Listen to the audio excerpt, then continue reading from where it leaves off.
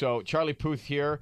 Wiz Khalifa and Charlie Puth with this hit "See You Again." Uh, the story is that I read that you wrote this in 11 minutes and five seconds. Yes. Okay, tell me about that 11 minutes. So it was around this time last year. I was on the beach in the Jersey Shore, thinking I should just come out to LA because who doesn't want to come out here where the weather's the same every day? Right. It's like the easiest job Yeah. in the world to predict the weather here. Yeah. and I was I was like I want to come out and write a song and um, Marvin Gaye was the first song that I wrote and then the next day I wrote a very different song obviously Yeah, see you sure. again and uh, Fast and Furious approached me um, to write something uh, for the end of the movie because they changed the end of the movie to honor Paul Walker and I was like, I can try and write something because I had a friend who passed away in a car accident, so I can kind of channel that energy since I didn't know Paul Walker personally. Uh-huh. Um, we're getting really sad this early mo- morning commute. It was interesting though. yeah. Yeah. and um, um, I don't know. I just I I just sat down and just like uh,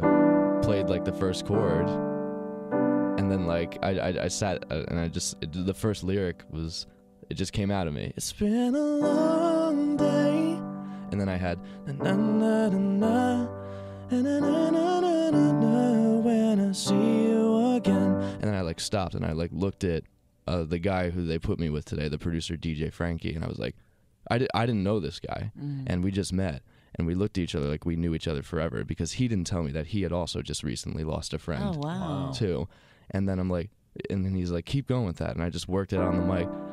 And then I eventually got it. My friend, and I'll tell you all about it when I see you again.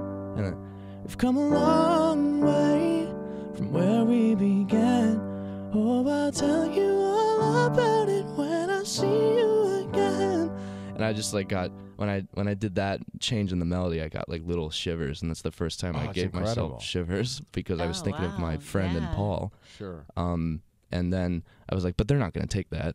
The- the- Really? You- yeah. You, doubted that? I mean, that- yeah, they got like they have every great songwriter in the world working on this right Yeah. now. Who am I? I'm this. I just came from New Jersey like the other day, and I'm the other day guy. the other I'm the other day guy. I'm just eating lean cuisine, writing songs, and, and um, watch lean cuisine's gonna send me like a hundred lean cuisines. Well, Gonna be if, if they don't, they, they have had a million dollars worth of plugs this Uh, morning. we'll take your overflow. But I, I, I, you know, I, I sent it to um the head of Atlantic. I sent it to Mike Caren, and they were like in shock of like they were like, who is this kid and where did this song come from? And Fast and Furious was like, yeah, this is this is the song. But granted, I didn't think I was gonna sing it, so we needed to find a rapper.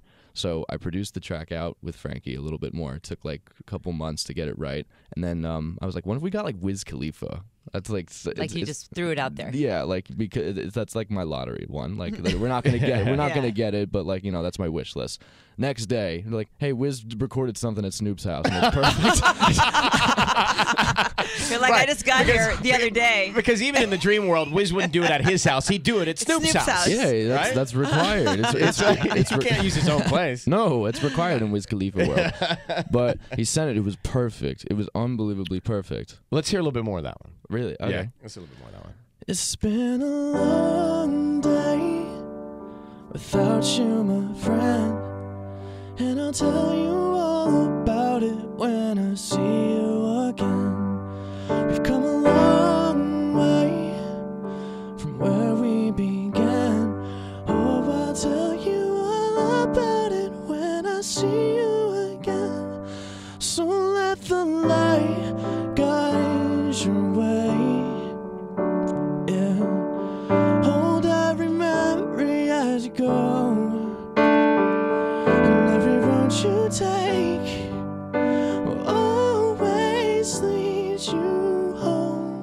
That's the lyric that got me the most because when my friend died, I wanted to like uh it's just like I always wanted just like to see him again. And I was thinking when when uh, Vi- uh, when Paul died, what would Vin Diesel's last text message be to Paul Walker?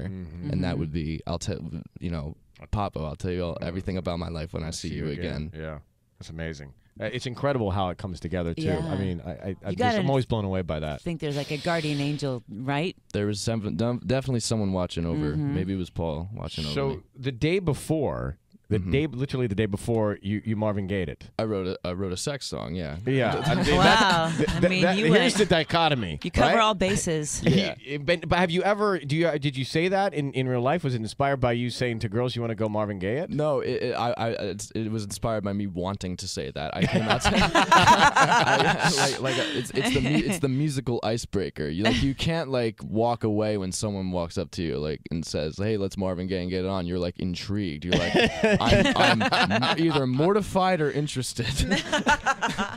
But you know you're you're going for it, taking the risk and going for it. And so he's going to be uh, with Meghan Trainor tonight. Mm-hmm. Uh, of course, they do this song together. Let's hear a little bit of that one too. Let's- Yeah. Let's Marvin and get it on. You got that healing that I want. Just like they say in the sun Until the dawn, let's Gaye and get it on. We got this king size to ourselves. Don't have to share with no one else. Don't keep your secrets to yourself.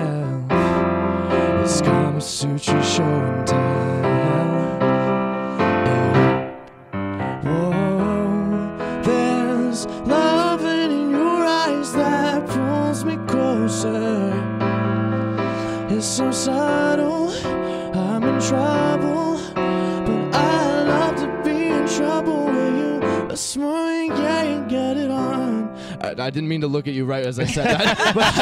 That's all right, Charlie. I'm in a trance. I was just like, I'm like, look, I'm Hey, just where do I look now when I say that? I did Like, like, we're a sitting turn, so like, close. Sorry, that was rude.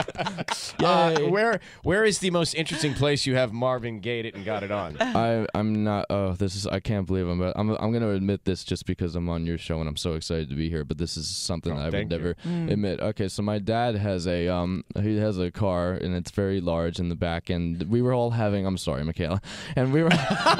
We, were we were we were having guests over and there were too many people and I was just I was with my girlfriend at the time and we I was just like okay I need to figure this out because there's like just there, there's like a hundred people in my house so I knew that my friends parents were in the Caribbean and my friend was at college and I went to I, I drove in my dad's car and drove in my friend's driveway, turned off all the lights, and that's the weird, probably the uh, the mo- not the weirdest place I've ever Marvin Gaye and gotten it on, Gotten it on. but like definitely the most like uh, "Oh, is anybody watching? Yeah, Yeah, stressful. And um, yeah, I can't believe um, that my uh, my mom is definitely listening to this. Well, just to make you feel better, I, I too did the same thing at a park in the valley, but the cops actually came and knocked on the oh, window. well, Yeah. Good. that would Hey, it, it unmarvined me very quickly. Charlie Puth, Marvin Gaye, it's out, and you can see him. Uh, the Palladium is a show tonight. Good to meet you, bro. Thanks for coming in. Thank you so much Appreciate for it. me. All the guys you've ever considered dating, they get together and they spill their secrets to this guy, Chris. Um, what do you do? Can I can I ask who Chris is? Chris is the host of The Bachelor. Chris Harrison. Okay. Okay. This happened on The Bachelor Tell All. Got it. So so a group of guys that I've ever considered And they- dating. They, just start telling Chris Harrison, the host of The Bachelor, all about you. What do you? How do you react? Do you embrace it or do you fight it? I embrace it. I want to know what they have to say.